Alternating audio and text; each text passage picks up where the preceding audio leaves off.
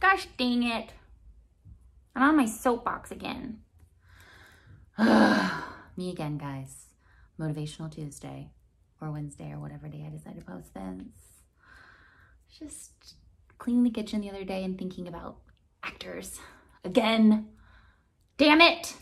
Basically what happened this week was I passed on an audition. You know, it was an audition that's very like niche type of sketch comedy and it was going to require a lot of work and it was going to be like developing more characters than I had to do when I got tested at Groundlings for how many characters you do.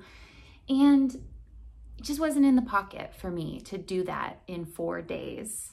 And I realized, I realized that people who are professional at things do them all day, every day, most days, right? They're like doing this on the regular. If you're a professional athlete, you're training most days of the week.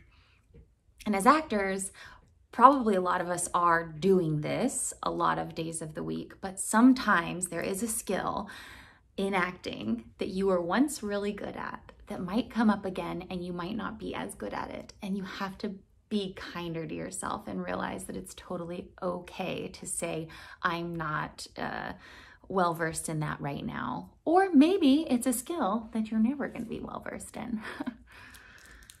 I've accepted that with me and singing.